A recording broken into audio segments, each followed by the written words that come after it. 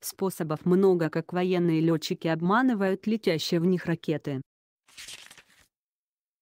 9. Международная выставка вооружений. Russian Expo Arms. 2013. Источник изображения – РИА Новости, Павел Лисицын. Москва, 14 дек РИА Новости, Андрей Коц. Боевая авиация, несмотря на выдающиеся ударные возможности, остается достаточно уязвимой.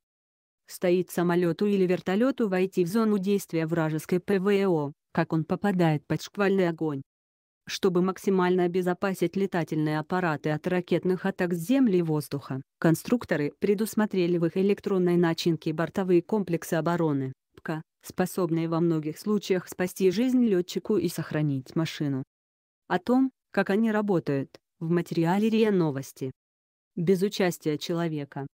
Бортовой комплекс обороны – это сложная система связанных между собой технических средств, предназначенных для своевременного определения угрозы воздушному судну, ее классификации, выработки решения по локализации и противодействию.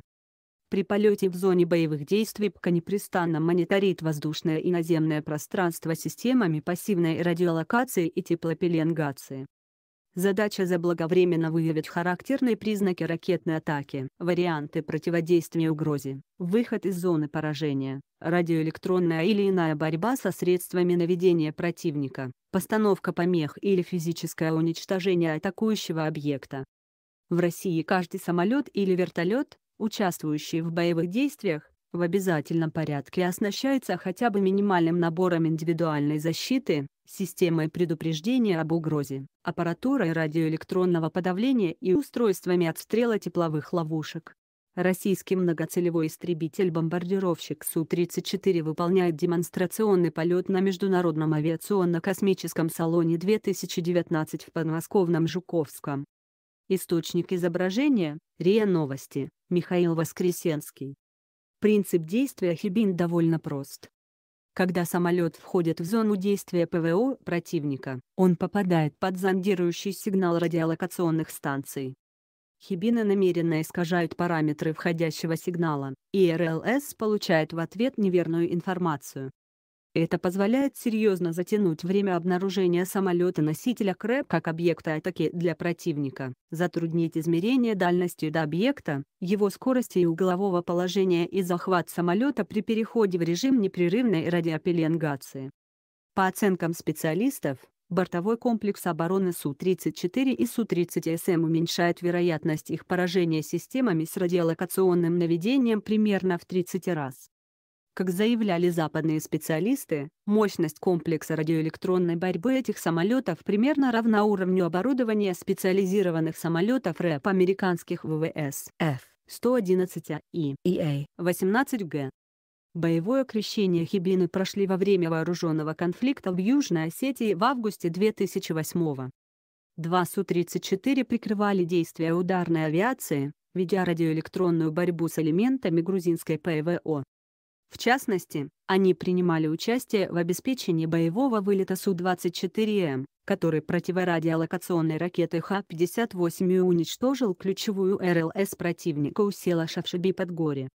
20 ракет. Вертолет Ми-24 направляется на боевое задание в районе дороги Кабул-Герат, Афганистан. Источник изображения – РИА Новости, Андрей Соломонов. Она пошла в серию в 1982 Станцию монтировали на верхней части фюзеляжа. При помощи мощной ксеноновой лампы из системы вращающихся линз липа создавала вокруг вертолета импульсный поток непрерывно перемещающихся инфракрасных лучей, запутывавших ракету. Суммарная эффективность станции достигала 70-85% по количеству сорванных пусков к их общему числу, однако не защищала от попаданий в корму машины. Современные ПКЛ-370 Витебск для вертолетов практически лишены этих недостатков. Ими оснащены все современные ударные Ми-35М, а также часть транспортно-боевых Ми-8, транспортных Ми-26, разведывательно-ударных К-52 и штурмовиков Су-25 в модификации Витебск-25. В 2015 на полигоне под Ахтубинском по восьмерке с Витебском, стоящей на земле, выпустили 20 ракет типа «Игла». Ни одна из них не смогла поразить цель.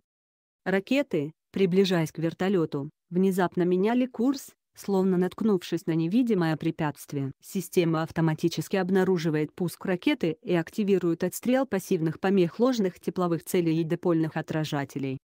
Кроме того, включается активная защита в инфракрасном и радиодиапазонах, что приводит к нарушению систем самонаведения ракеты и их уходу на ложные цели. Комплекс может работать в полностью автоматическом режиме, лишь информируя экипаж о ракурсе атаки и характере угрозы, а также о мерах противодействия и об оставшихся средствах защиты. Этот ПК активно используется в Сирии. О его эффективности свидетельствует тот факт, что ни один вертолет ВКС России не был сбит земли огнем ПЗРК. Право на данный материал принадлежат РИА Новости. Материал размещен правообладателем в открытом доступе.